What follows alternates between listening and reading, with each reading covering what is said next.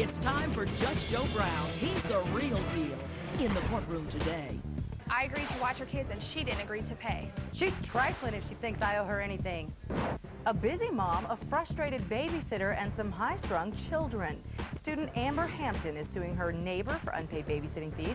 Defendant Melinda Campbell says the plaintiff failed to watch her children properly. Now, here's Judge Joe Brown. All right, so I've read this, and this troubles me because there's some things that are going on behind the scene that I'm going to touch on very lightly. But let's see. You can stand up. Come on over. Okay, you're in the military. This is your wife, right? Yes, Your Honor. All right. Uh, tell me what the arrangement was that you had with the defendant here.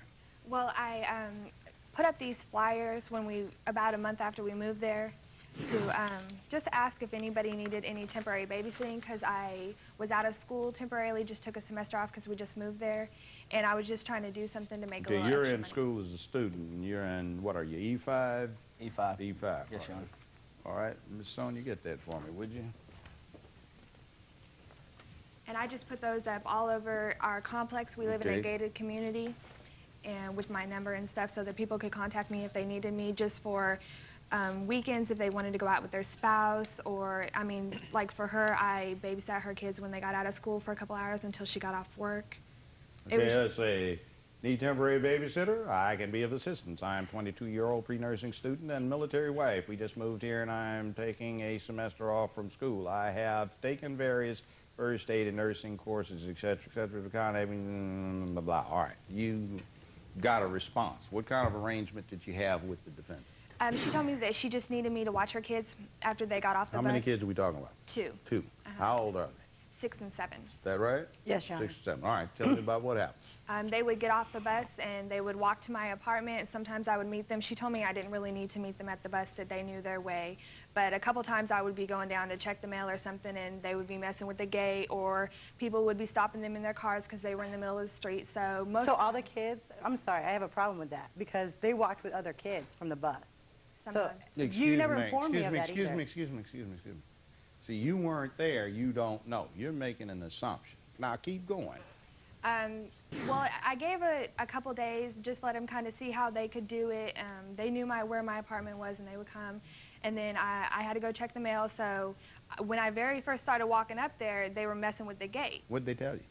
Um, they they started coming towards me. They listened to me that time, and I said, "You guys know you can't do that. You'll get your fingers caught or whatever." It wasn't a, I mean, it was a big deal, but it wasn't enough for me to say. No big deal. That's oh, one time." Kids, yeah. Yeah. So Okay. they listened to me, and that was fine. And after that happened, I just um, every once in a while I would just go down there and check on them. They wouldn't know that I was coming just to see, you know, make sure they were okay. And I would like hide behind the car and scare them, you know, just have a little fun. Um, In other words, you're being watched. That my mother, Yeah. uncle or two did that to me. You know, like don't think nobody's looking at you. Yeah, exactly. Um, sometimes, well, they were good little kids, but sometimes they would be in the street, and you know, you'd have to tell them to get back on the sidewalk and stuff. That's not anything. I mean, I'm sure their mother knows that they don't always stay on the sidewalk like they're supposed to. They're little six and seven year old But kids. she thinks they do. Mm, Well, they don't. No, I don't. I don't think that at all. How many weeks did you keep her children? I kept them for about um, maybe four or five weeks. Four or five Give or take a little, yeah. Did you have any rules about the provision of lunch? Yes, she was supposed to provide snacks because they would just get home from school. They would do their homework. Um, Very in elementary school. Yes. So what happens relative to these snacks and other things? Um, the first week that we had them, she supplied me with some, like, you know, little juiced cups and snacks and stuff that I could give them when they got out of school. And when I started running low, I'd tell her, you know, you need to get some juice, you need to get some this, you need to get some of that. There were times when I told her and she waited three or four days, so they didn't have But there was any- times when I got off work and I went to pick them up that I, you know, wanted to attend to them and I didn't always have time to go to the store. If she didn't have time, she could have gave me the money and I could have did it. I offered. Just give me $10. I'll Okay, keep going. Tell me what you told me in your complaint. Um, there were times when I would tell her that we were running low, and she would wait three or four days. Yeah, we got that. Them. You said that. Okay. She said she was too busy. She just had things to it. And then you So- said, well, she could have given me the money and I'd have dealt with it. Exactly. Okay. And the times that it didn't, that she didn't do it, I provided it for them. She said, "Oh, just give them water." They were at my house for four or five hours sometimes. But I'm they drink water when they're outside water. playing because it's hot outside. What about snacks? What about food? You think your kids don't need food for fo- You four or act like five I never brought you anything, like they didn't have anything. There were But th- there were were- days that you didn't bring stuff. Days. But she said days. already she was too preoccupied It wasn't like and I was too preoccupied. It was like that by the time I got home, I'd fix them dinner, put them in bed. I just, during my work time, I just did not have time during the day to go. It wasn't like I was just totally ignoring the situation. Then why didn't you give me cash? I could. You never asked me, Amber. They're your kids. Why wouldn't you just give me the money and say, hey, I'm sorry, can you maybe go to the commissary and get them something? You didn't even ask Because me. I did not want to take time out of your schedule.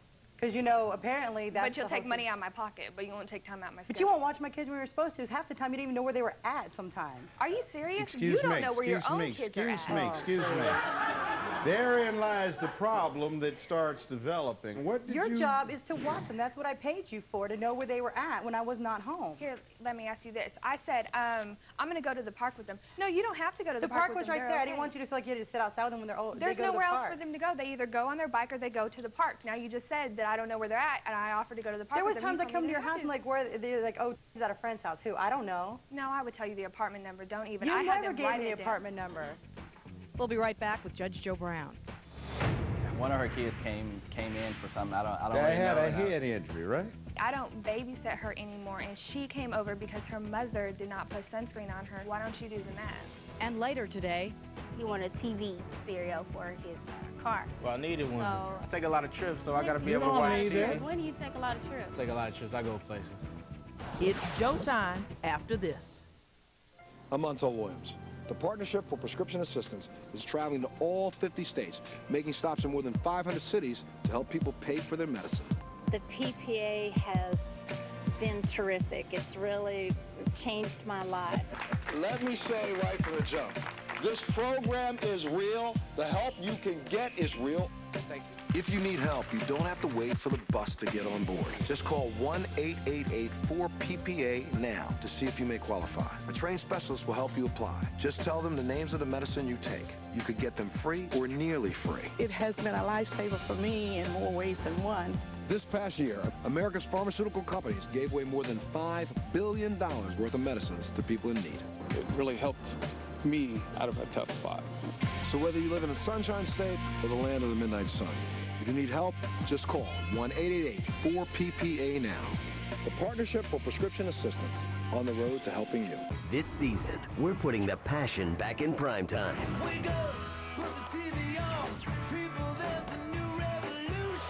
With all new episodes of two new shows every night.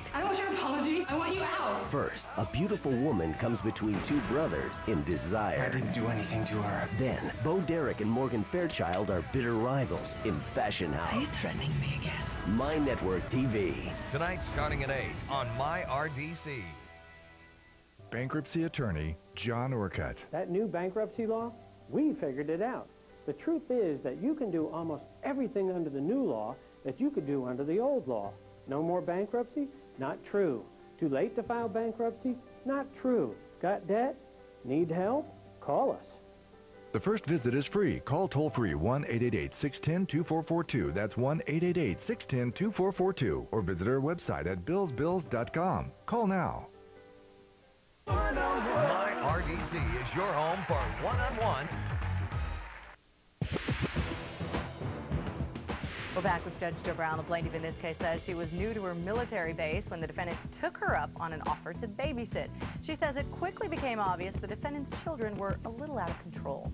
Let's listen in. You say eventually when spring break rolled around, uh, you got an inquiry from the defendant if you could reduce the fees to a flat rate. Is that right? Yes, it is.